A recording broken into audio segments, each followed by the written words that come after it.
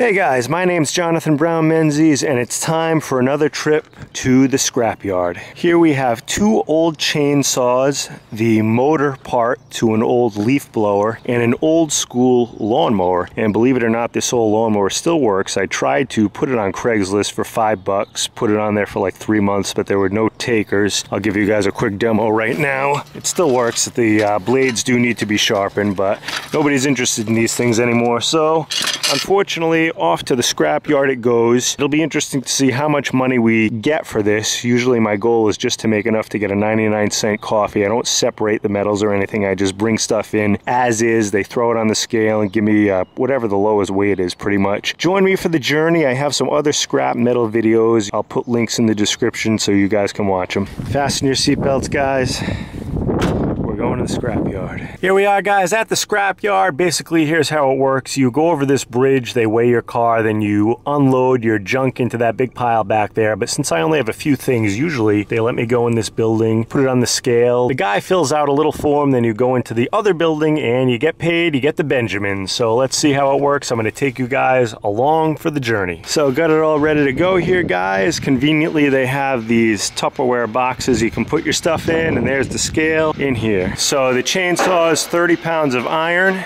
and this old lawnmower is light iron, 34 pounds. So guys, got the official paperwork filled out by the guy. Light iron 34 pounds and regular iron 30 pounds. Again, I don't really know specifics on what's worth more, what's worth less. I just put it in as is. I don't break anything down. So now the next step is to go to the pay window and get the Benjamins. Hopefully it comes out to over 99 cents to buy that coffee. Guys, we had a successful mission to the scrapyard, got five bucks, and it came out to 34 pounds of light iron and 30 pounds of aluminum iron mid-grade for 64 pounds total, and it kind of gives you the breakdown here. 220 for the light iron and $3 for the aluminum mid-grade. And again, guys, I hope this video was helpful. This wasn't really directed towards the scrappers that really break stuff down. A lot of people are going to write me messages and leave comments saying, oh, you could have made a lot more money if you just broke it down and separated the precious metals from the cheap metals, but I can barely even put a light bulb in, as you guys can see on some of my other videos. So this video is directed to the guy that just wants to get rid of stuff in his backyard or his basement, and instead of just giving it away, bring it to the scrap yard, get a few bucks for it, pay for a few coffees, and this really exceeded my expectations. This is gonna pay for five cups of coffee. Since today's a special day, I think I'm gonna put a little shot of hot chocolate in that. One more thing I wanna say about the scrap yard. If you've never been there and you're saying, oh, it's intimidating, I don't know what to do, all the employees are very, very helpful. They'll go out of your way to tell you where to go, what to do. Don't be shy. Just ask, what do I do? I brought this in. An old dishwasher, an old generator, an old microwave. Doesn't matter what it is. Why not get a few bucks for it? Guys, now for the best part of the whole scrap metal experience when you get to enjoy the fruits of your labor with this 99 cent coffee. Actually, it came out to a dollar six with tax, but that's okay. After our $5 haul today, we got plenty of money to splurge. If you like this video, please please hit that like button. Please leave a comment. I answer all comments. If you have any suggestions for my channel, please leave it down below. If you really like this video, please subscribe so you can be the first one to see all my new videos. Thanks again, guys. Jonathan Browne Menzies signing off.